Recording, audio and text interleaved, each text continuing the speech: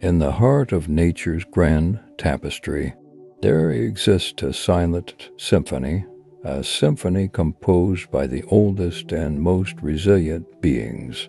On this planet, trees, trees, the guardians of our earth, have tales to tell, lessons to teach, and inspiration to share their journey from tiny saplings reaching for the sky to towering giants of strength, is a reminder that even the mightiest accomplishments start from humble beginnings. Trees are a testament to adaptability.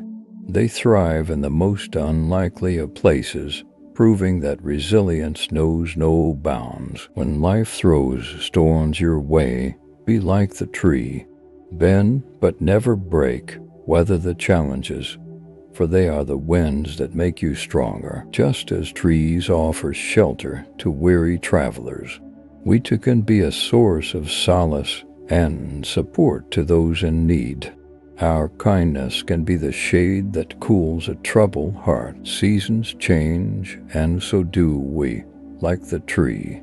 Embrace change as a chance for growth, transformation, and renewal. In the vibrant colors of autumn leaves, we find the beauty in letting go sometimes.